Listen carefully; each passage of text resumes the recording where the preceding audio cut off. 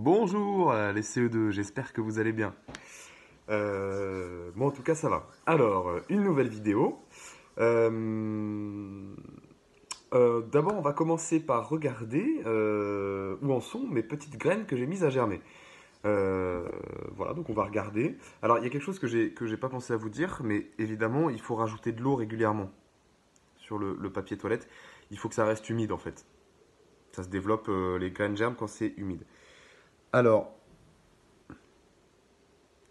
on peut observer.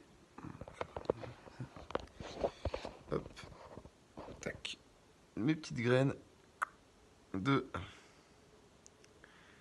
Mes petites lentilles. Alors, elles n'ont pas encore germé. On voit que ça commence à se passer quelque chose, mais c'est encore un peu tôt pour euh, que ça germe. Euh, ensuite, ici, c'est aussi des lentilles. Elles n'ont pas germé. Et ici, on peut voir que mon petit haricot a commencé à faire une germe, toute petite germe, hein, c'est le début. hein.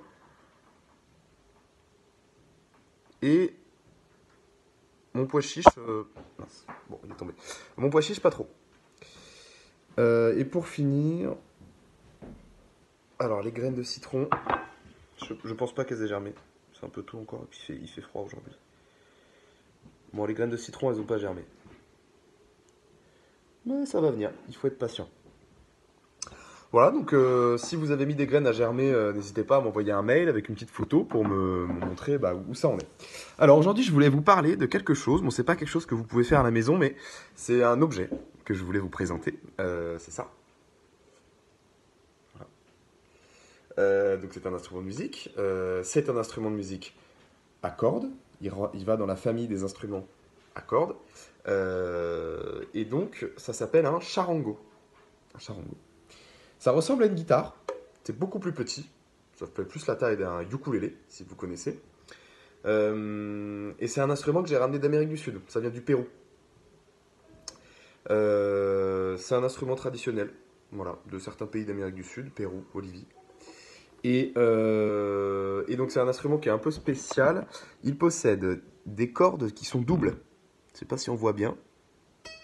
Voilà, une, deux. Donc il y a cinq, cinq paires de cordes en fait. 5 fois 2, 10. Voilà, donc euh, c'est un instrument qui est un petit peu difficile à jouer. Je sais pas très très bien en jouer. Mais je l'aime beaucoup, il est rigolo. J'aime bien sa sonorité, écoutez.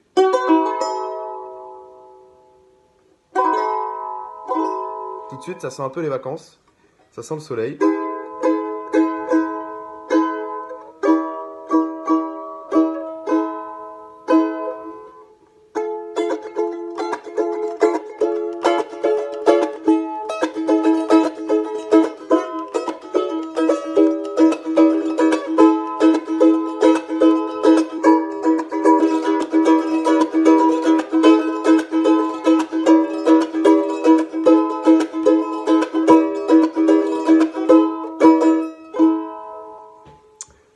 Pour, pour euh, que vous ayez une petite idée de comment ça sonne.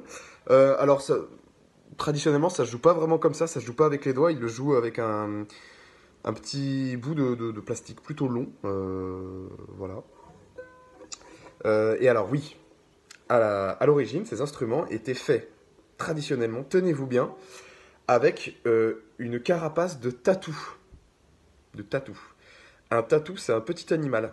Euh, je vais vous laisser regarder sur euh, internet à quoi ça ressemble. C'est un petit animal avec une carapace. Bah, une carapace qui a cette forme. Alors, c'est un animal qui est en voie de disparition. Donc maintenant, ça a été interdit, heureusement, de tuer un pauvre animal juste pour faire un instrument de musique. Euh, donc maintenant, c'est fait en bois. D'accord? C'est fait en bois, le bois est creusé. Et, puis ensuite, il y a des ornements qui sont faits, de la décoration, voilà, pour que ça soit un instrument joli. Voilà. C'est tout ce que j'avais à vous présenter aujourd'hui. Je vous souhaite de passer un beau week-end et envoyez-moi des photos de, vos petites plantations. À bientôt